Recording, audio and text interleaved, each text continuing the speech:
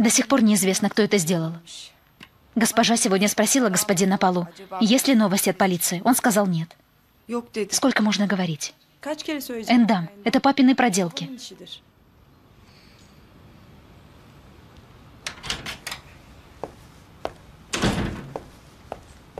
Госпожа учительница, когда начинаются каникулы в школе? Еще не скоро, тетя. Твой отец до сих пор не знает, что ты преподаешь. А вы не верите папе? Насчет обстрела дома. Знаешь, я поверила, Чичек. Если бы твой отец сделал, он бы сказал, не так ли? Не знаю. Может, и сказал бы, а может, и не сказал. Я толком не знаю папу. Приятного аппетита.